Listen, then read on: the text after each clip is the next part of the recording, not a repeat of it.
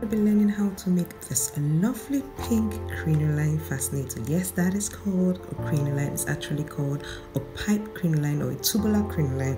Or you get to know more about that if you join us in our crinoline masters class that I've been talking about. You get to know all types of fascinators.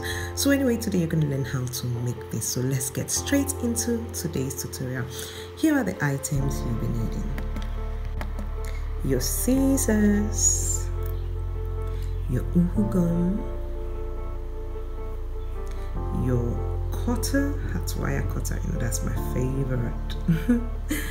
then you'll be needing your Alice band, the thin one, you don't need the fat one, that's the slimmest thing. Your measurement tape, your I made use of um, fishing line here, so you'll be needing your fishing line and your needle your you can make use of a matching thread to the tubular line that you have. Then making use of your bias.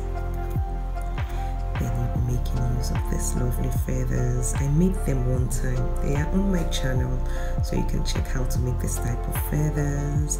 Then this flower i love this flower. Don't you just love it? What's the name? If you know the name please let me know in the comment section below. Then these are stamen. We'll look at it later. Then this is your clip then your plastic hat wire. Have you attended our hat wire class? Do let me know in the comment section below. Then this is your tubular or pipe. In the market they call it pipe. There's actually your the tubular crinoline that is called online.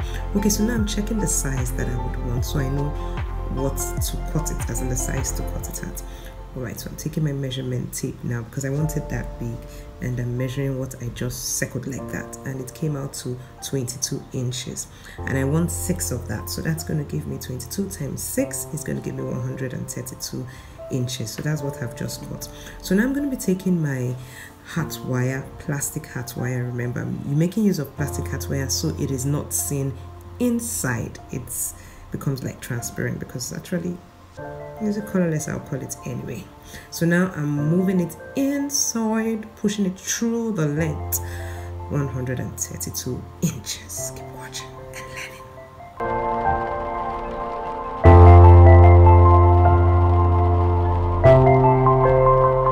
So I'm measuring out my 22 inches now after I've passed the plastic hat wire inside and I'm going to curve it like so okay then once I'm done, I'll take my hat wire cutter to cut because of the wire that is inside and um, take my scissors to cut. Sometimes it cuts both at the same time. So I actually did that when I was cutting the other ones, just this first one that it refused.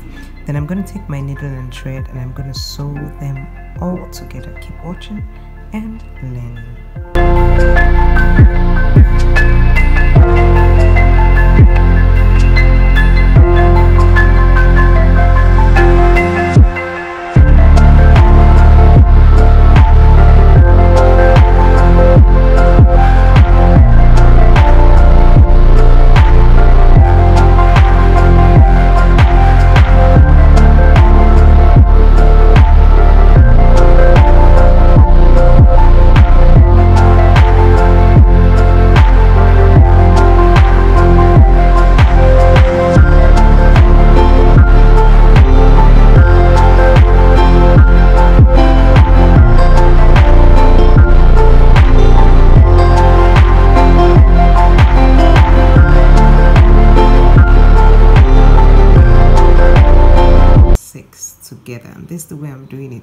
Making sure that they enter into each other at the uh, you know forming that little circle in between. So that's what I did to all the six. So just watch how I sew them all together. Notice I'm taking I'll take them in loops inside to hold them firmly and sew them also. Keep watching and learning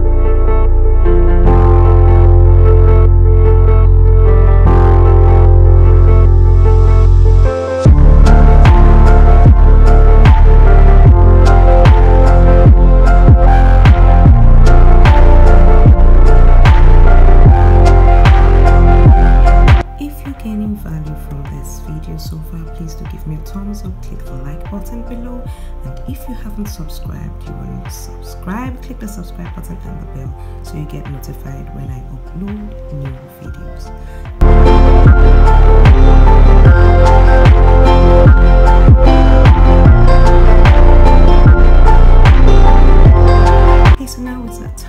Attach my Alice band to the tubular connected pink crinoline fascinator. So i'm checking to see where i want it to be. You can put it at the side on the top or wherever but i'm a side person. I think side crinoline tend to look cuter. That's me anyway.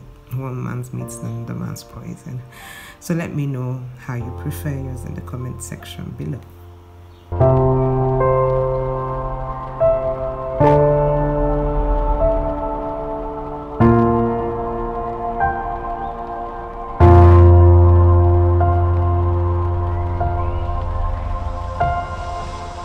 this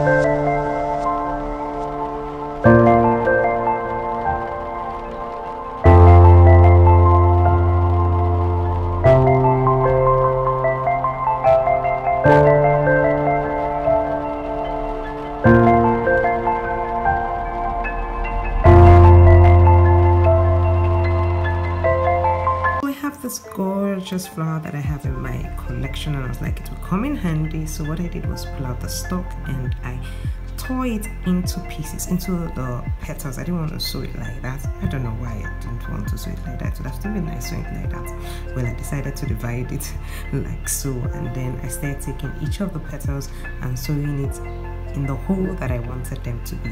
Keep watching and learning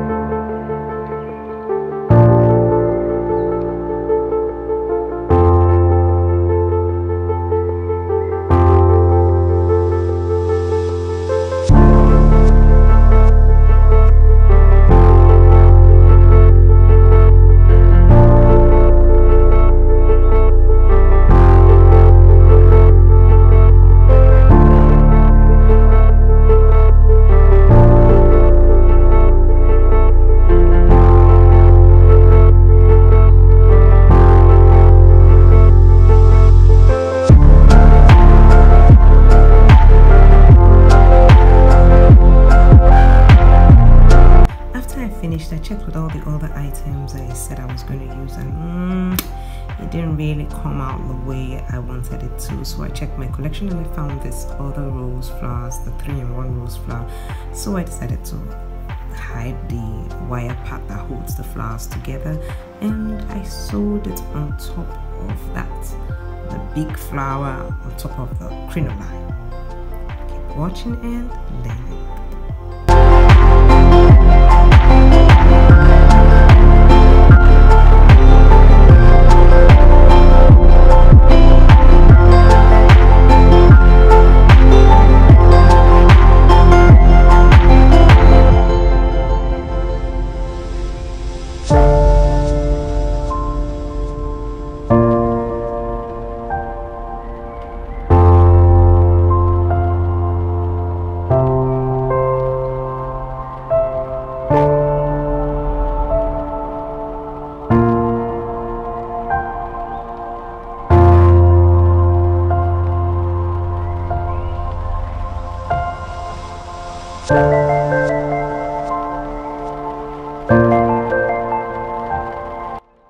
really thought real hard on whether to add these feathers but I think it finally did come out right. So let me know do you prefer it like this or now as I'm sticking the feathers so I decided to stick the feathers to the side like so.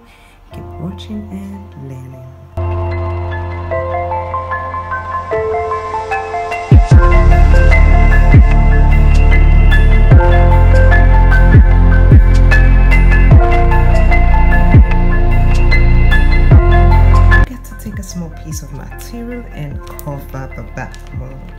same color.